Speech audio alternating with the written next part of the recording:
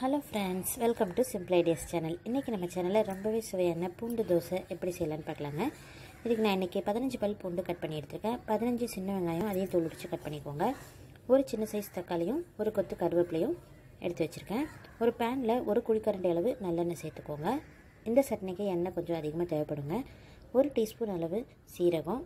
நம்ம கட் பண்ணி வச்சுருந்த பூண்டு வெங்காயம் கருவேப்பிலை எல்லாத்தையும் போட்டு சிம்மில் நல்லா வதக்கிக்கோங்க. காரத்துக்கு பார்த்திங்கன்னா அஞ்சு கஞ்சி மிளகாவும் அஞ்சு காஷ்மீரி ரெட் சில்லியும் எடுத்திருக்கேன்.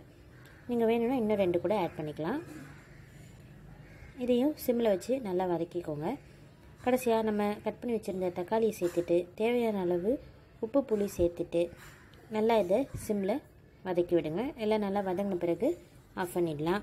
ஆறின பிறகு இதை ஒரு மிக்ஸி ஜாரில் கால் கப் அளவு தண்ணி ஊற்றி நல்லா பேஸ்ட் மாதிரி அரைச்சிக்கோங்க.